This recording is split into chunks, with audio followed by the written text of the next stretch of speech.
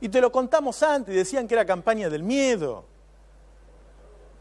Ahora, no solo sabemos las cosas porque las anunciaron, las y ganaron así, y lo felicito a Mauricio Macri por haber ganado y el pueblo lo votó, pero no puedo dejar de decirte las cosas. Y cuando veo los equipos, cuando veo los nombramientos de jueves y viernes, que se sumaron a los anteriores, bueno, macho, si vos haces un equipo de gerentes, es para gobernar para el sector privado, para las grandes corporaciones. Si no, ¿por qué pondrías de secretario de trabajo a un tipo que es el jefe de recursos humanos de una gran empresa? Que lo que hace es hacer test a la gente que entra a la empresa y después ver qué día se va a tomar las vacaciones o cuánto le paga de aguinaldo. ¿Cómo va a ser ese tipo con las paritarias? Primero vamos a tener que explicarle lo que es una paritaria. Si vos ponés a ese tipo de secretario de trabajo y estamos acostumbrados a una secretaria de trabajo que anda por todo el país recorriendo, evitando que echen gente, ¿cómo no me voy a preocupar? ¿Cómo no te lo voy a avisar a los dos días que asumió? Vamos a ver, otra vez y ahora, con los últimos nombramientos, el mejor equipo, como lo anunció Macri. A ver cómo lo anunció Macri. Yo me comprometía que tenía que armar el mejor equipo de los últimos 50 años y creo que claramente lo que les hemos presentado hoy representa eso. Un equipo de gente valiosa, de argentinos comprometidos, de argentinos con trayectoria, de argentinos con buenas intenciones. Un equipo de buena gente. Bueno, Macri dijo que iba a armar el mejor equipo de los últimos 50 años, ¿no? Este ya lo saben, pero vamos a empezar para ver los currículum y para pensar un poquito si estos tipos van a defender el interés de los laburantes. Mirá, por ejemplo, el currículum del ministro de Economía, de Alfonso Pratgay. ¿Eh? Financiera Titan Capital, JP Morgan, Nueva York, Londres, Buenos Aires. De ahí viene nuestro ministro de Economía. De ahí viene nuestro ministro de Economía. No viene de las fábricas, no viene de la UVA, no viene de una consultora que labura para las empresas. El tipo vendía monedas en la banca Morgan. La banca Morgan es la de... ¿Ok?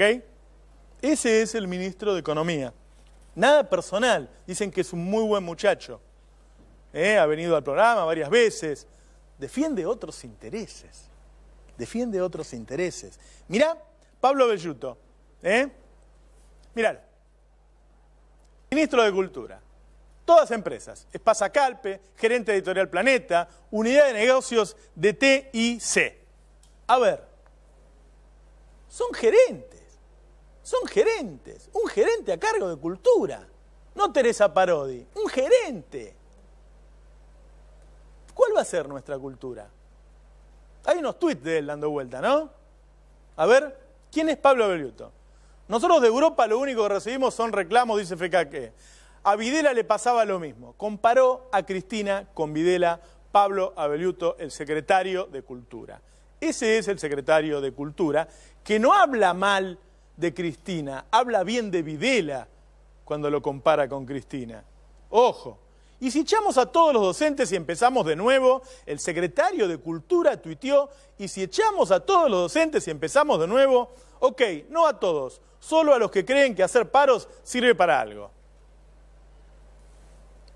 Pablo Abeliuto, secretario de Cultura de Macri. Néstor no se murió, vive en el paraíso fiscal. Sí, Cabandier, es muy probable que sus padres biológicos hayan cometido actos delictivos, aunque la represión criminal los haya dejado impunes. Este es el secretario de Cultura de la Nación, ¿no? Este es el mejor equipo de los últimos 50 años, te lo estamos mostrando. ¿sí? Gerentes sin formación política que se supone que representan los intereses de las empresas que trabaja. ¿sí? Vamos a ver al secretario de jefatura de gabinete, Gustavo Lopetegui. Este hombre va a administrar los recursos, ¿sí? Labura en la jefatura de gabinete, son los que mueven la caja. CEO de LAN Argentina. Vino Sorage, Portugal, CEO de Milcaut, SA. A ver si entiende.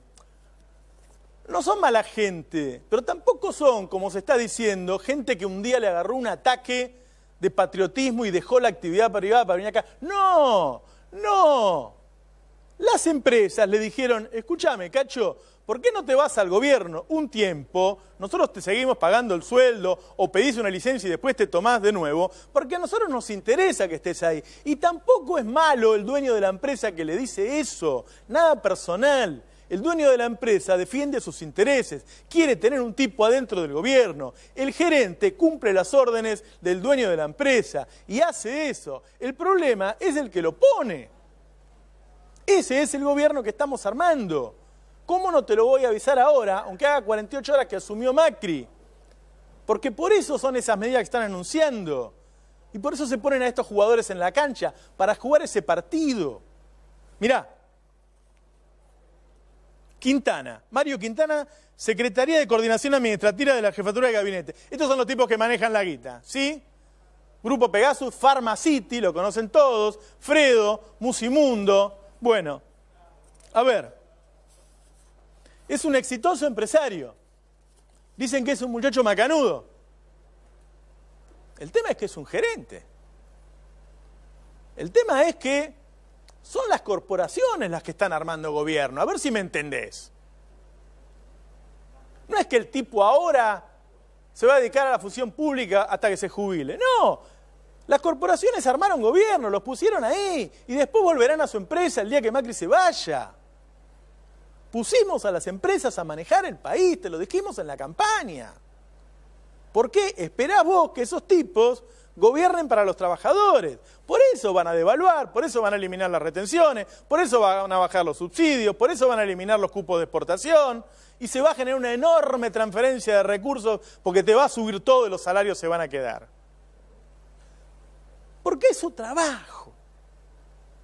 Porque es su trabajo. Porque vinieron a hacer eso. No hay otra razón. Veamos alguno más, a ver. Vamos a ver Isela Constantini. Isela Constantini es la CEO de General Motor.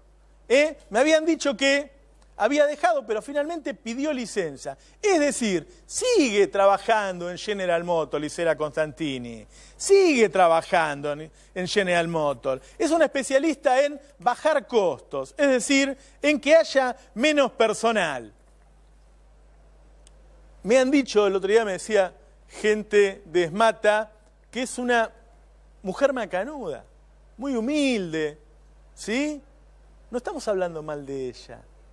Estamos diciendo por qué se arma un gobierno de gerentes. Y bueno, porque es un partido elitista el que ganó las elecciones. Porque va a gobernar para la clase alta y para eso hacen falta gerentes. ¿Qué sé yo? A ver, miren, Alfonso Cabrera, ministro de la Producción, Francisco, Francisco, acá dice Alfonso. Francisco Cabrera, ministro de la Producción. CEO de Máxima FJP. Eso, eso sí que era malo, perdónenme, ¿no? Máxima FJP cagaron a todos los viejitos. Grupo HSBC, bueno, este fue también el que hizo la fuga de divisas. Grupo Robert, director ejecutivo del diario La Nación. Este hombre va a ser el que va a manejar la producción del país el que debería hacer una planificación de nuestra producción para generar valor agregado, para que todos tengamos empleos de alta calidad. Y resulta que el tipo es un gerente de una corporación que pasó por el gobierno de la ciudad, es cierto. Juan José Aranguren. Este hombre es el ministro de Energía, CEO de Shell. Este es el tipo que dijo que no es importante el autoabastecimiento. Claro, él es una empresa privada y Shell es una multinacional. ¿Por qué le interesaría que los argentinos tuviéramos autoabastecimiento?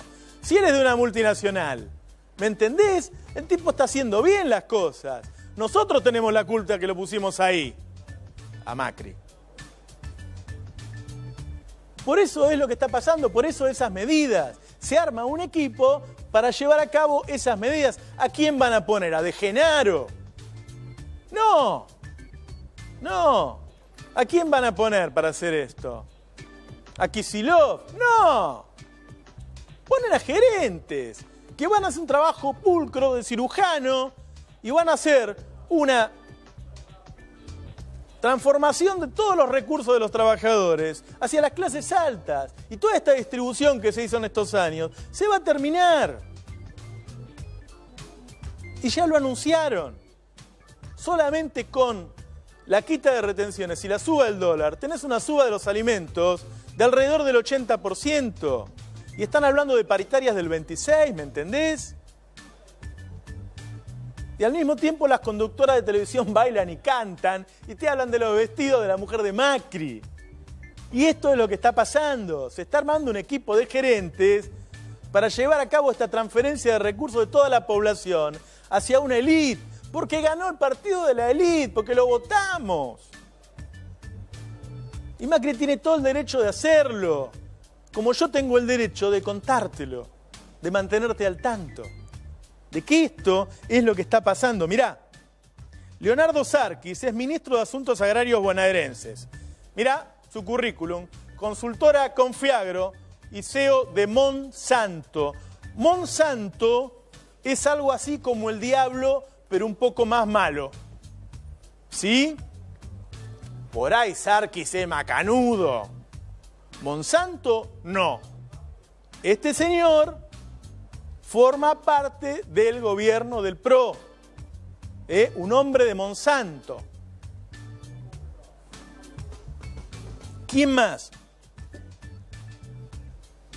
Marcelo Villegas, ministro de Trabajo bonaerense. A ver, el tipo es director de recursos humanos, o sea, el que te hace el test, ¿viste? Cuando llegás, dice, ¿vos dónde laburaste?